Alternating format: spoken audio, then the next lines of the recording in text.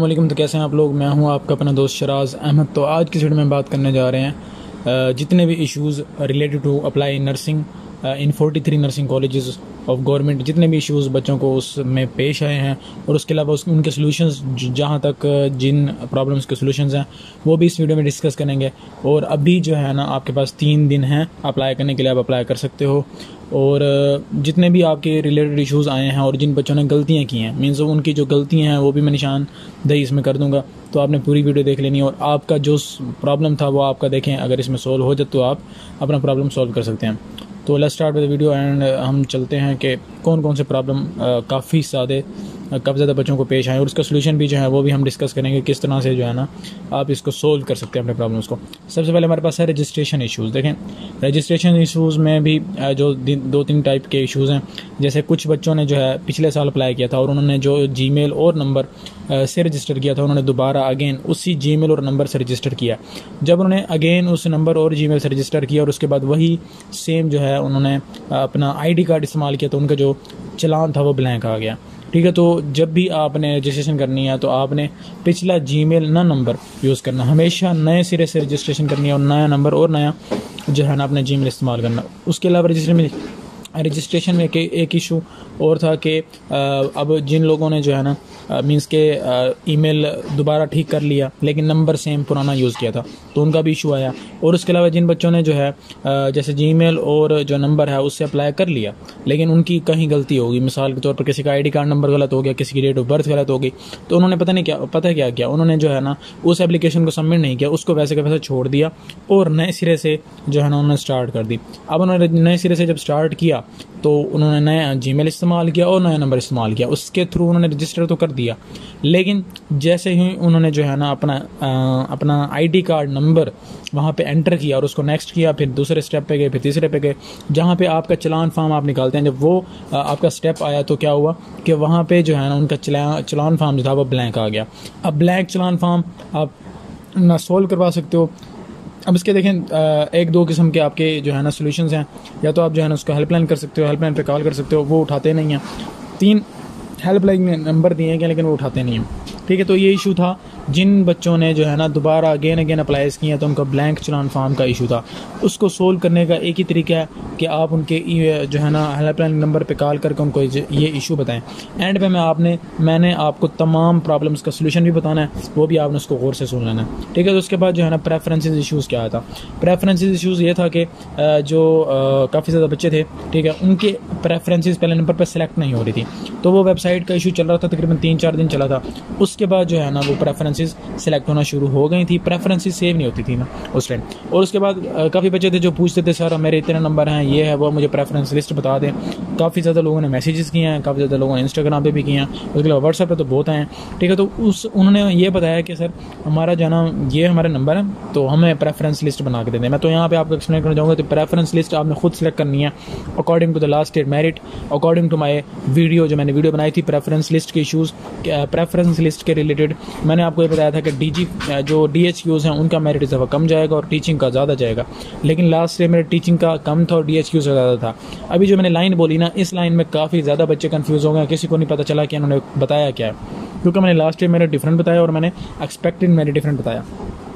तो आपने इसको खुद समझना है और आपके जो प्रेफरेंस आई मीन से आपके घर के रिलेटेड कोई घर के साथ है या कोई नंबरों के मुताबिक आपको प्रेफरेंस सही लग रही है। अगर आपके कम नंबर हैं तो आप डी एच क्यूज़ को सिलेक्ट करेंगे प्रेफरेंसेज पे, ताकि आपका नाम जल्दी आ जाए। याद रखें कि अगर जब आप 43 के 43 कॉलेज में अप्लाई करेंगे तो आपका नाम आ जाएगा, जैसी मर्ज़ी प्रेफरेंस सेलेक्ट कर दें। लेकिन यह है कि लेट आएगा लेट आने के चांसेस होंगे। तो फिर आप डिप्रेशन में रहेंगे कि मेरा भी नहीं, अभी नहीं आया। अगर आप थोड़े से स्मार्ट वर्क के साथ चलते हैं स्मार्ट थिंकिंग करते हैं तो जिस तरह से मैंने आपको बताया तो आपका जो है ना, नाम जल्दी आ जाएगा, बस ये आपको फ़ायदा है। ये प्रेफरेंस का इशू था उसके बाद हम तीसरे अपने जो प्रॉब्लम था उसके ऊपर चलते हैं कि डॉक्यूमेंट इशूज़ मीन्स क्या बच्चे पूछ रहे हैं कि सर डॉक्यूमेंट्स कौन से? जो है ना हमने सबमिट करने हैं हमने जो है ना ओरिजिनल डॉक्यूमेंट सबमिट करने हैं या हमने एडवर्टाइजमेंट के ऊपर अटेस्टेड डॉक्यूमेंट्स है तो हमने कौन से सबमिट करने हैं? देखें काफ़ी ज़्यादा बच्चों लोग बच्चों ने जो है ना वो आ, वो नहीं देखा होता एडवर्टाइजमेंट नहीं देखी होती उनको जस्ट लिंक मिलता है और वहाँ से वो अप्लाई करते हैं। तो वेबसाइट के ऊपर लिखा हुआ है कि आप ओरिजिनल डॉक्यूमेंट्स को स्कैन करके वहाँ पे स्कैन से मुराद ये है कि आप उसको साफ़ साफ़ पिक्स लेकर उसको जो है ना वहाँ पे अपलोड करते हैं। लेकिन उसके अलावा आप कुछ बच्चे ये भी कह रहे हैं कि सर एडवर्टाइजमेंट तो वो लिखा हुआ है। अब एडवर्टाइजमेंट कुछ बच्चे कुछ बच्चे इतनी गौर से पढ़ते हैं, कुछ नहीं पढ़ते। अब यहाँ पे जो है ना, आपका ये सोल्यूशन होता है कि आप अगर डॉक्यूमेंट्स स्कैंड ओरिजिनल सबमिट कर देते हैं, वो भी ठीक है, और टेस्टेड डॉक्यूमेंट सबमिट कर देते हैं, वो भी ठीक है। लेकिन शर्त यह है कि आपके डॉक्यूमेंट्स जो है ना ब्लर ना हो, साफ़ हों, उसमें आपको कोई पीछे कुछ और चीज़ नज़र ना आ रही हो, और बिल्कुल साफ़ सुथरे आप उसको एडिट करके, बिल्कुल जो आपका डॉक्यूमेंट है जैसे आप उसकी फॉर्म में ही उसको सबमिट करें। बाकी ये चीज़ें हैं जो आप इसके ऊपर आप जब इनके, इन चीज़ों को आप अपने माइंड में रखेंगे तो आपके जो गलती के चांसेस वो कम से कम हो जाएँगे। उसके अलावा आप हमारी सर्विस इस्तेमाल कर सकते हैं, जिसमें हम हर चीज़ बता के बच्चे को गाइड करके एक एक स्टेप वेरीफाई करके उनका अप्लाई करवाते हैं। नीचे आपको नंबर नज़र आ रहा होगा। उसके बाद हम चलते हैं अपने चौथे स्टेप के ऊपर, क्या वेरीफिकेशन बिफोर समीशन अब देखें, बच्चे जो है ना, वो काफ़ी ज़्यादा कन्फ्यूज़ हो जाते हैं कि वेरीफिकेशन से क्या मुराद है। जैसे ही आप चलान पे कर लेते हैं, वहाँ पे डेट सबमिशन कर लेते हैं, सारा कुछ कर लेते हैं, उसके बाद आप कंटिन्यू पे क्लिक करते हैं तो आपका पूरा जो फॉर्म है, जो आपने पूरी इन्फॉर्मेशन तीन स्टेप्स में दी थी, वो आपके सामने आ जाती है। तो मैंने वो वीडियो भी बना के दिखाया कि वो कैसे आती है। तो आपने उसको देख लेना है कि आपने डेट ऑफ़ बर्थ अपनी देखनी है, अपना सारी इन्फॉर्मेशन को दोबारा वेरीफाई करना है। उसका मकसद क्या है? अब वेबसाइट इनकी है काफ़ी ज़्यादा। स्लो एंड उसमें काफ़ी ज़्यादा प्रॉब्लम्स आती रहती हैं। तो उसकी वजह से जो है ना वहाँ पे आपकी इन्फॉर्मेशन जो है वो ऑटोमेटिकली गलत हो सकती है। काफ़ी बच्चों को ऐसा भी आया है कि उनकी इन्फॉर्मेशन पहले ठीक होती है लेकिन एंड पे जाके जब वो वेरीफिकेशन वाला उनका सामने जो उनका पेज आता है वहाँ पे एडिट का ऑप्शन भी होता होता है। तो वहाँ पे उनकी इन्फॉर्मेशन गलत होती है उसके क्लिक करके उसको उसी टाइम ठीक कर सकते हैं सबमिशन से पहले। ठीक है तो वेरीफिकेशन से ये मुराद है कि आपने जो पूरी अपनी फ़ाइल आपकी एंड पे खुलेगी ना चलान सबमिट कराने के बाद तो आपने उसको वेरीफाई करना। मीन्स उसको अपने डॉक्यूमेंट्स के साथ मैच करना कि वो बिल्कुल ठीक है या कोई गल, कोई चीज़ गलत है तो उसको आपने वहीं एडिट करके ठीक कर सकते हैं। उसके बाद है accept and submit accept and submit क्या मुराद है? जब आप वो सारी इन्फॉर्मेशन पढ़ लेते हैं, ठीक है? उसके बाद आपको नीचे एक ऑप्शन होता है जनरेट कोड अब काफ़ी ज़्यादा बच्चे कंफ्यूज हो रहे हैं कि, सर जनरेट कोड हमारा नहीं आ रहा या जनरेट कोड कैसे करना है? जनरेट कोड पर जैसे ही आप क्लिक करेंगे ना तो आपके उस नंबर पर जिस नंबर से आपने रजिस्टर किया था ना, उस नंबर से आपके उस नंबर पर आपका ओ कोड आएगा। आपने वो कोड उठाना है और आपने नंबर उठाना और उसको सबमिट आपने उसको पेस्ट करना है। अब आप पूछेंगे पेस्ट कहाँ करना है? एक्सेप्ट एंड सबमिट जब आप जनरेट कोड करेंगे ना तो आपको वो नोटिफिकेशन देगा कि आप, हमने ओ आपके नंबर के ऊपर सेंड कर दिया। आप एक्सेप्ट एंड सबमिट पर क्लिक करेंगे, जैसे ही एक्सेप्ट एंड सबमिट पे क्लिक करेंगे तो वो आपको एक नया टैब खोलेगा और कहेगा कि आप यहाँ पे नंबर पेस्ट करें और वो ओटीपी पेस्ट करें देन आप वेरीफाई करें। जैसे ही आप वेरीफाई के नंबर पर बटन पर क्लिक करते हैं तो आपका जो है ना, पूरा फॉर्म सबमिट हो जाता है।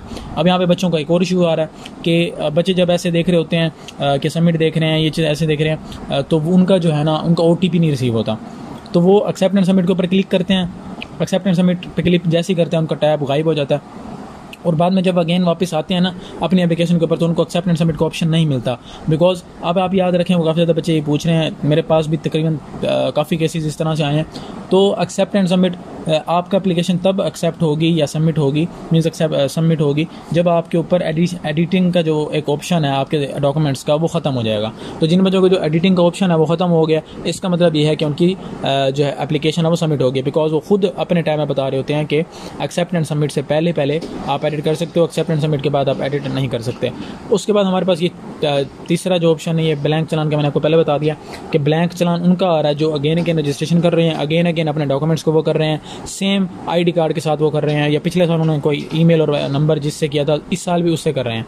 तो ऐसा नहीं करना, इन तमाम चीज़ों का आपने ख्याल रखना है। अगर अब भी आपके पास टाइम है, अगर आप अब भी हमारी सर्विस से फ़ायदा उठाना चाहते हैं तो हम आपको एक एक स्टेप के ऊपर गाइड करके तभी आपका अप्लाई करवाते हैं।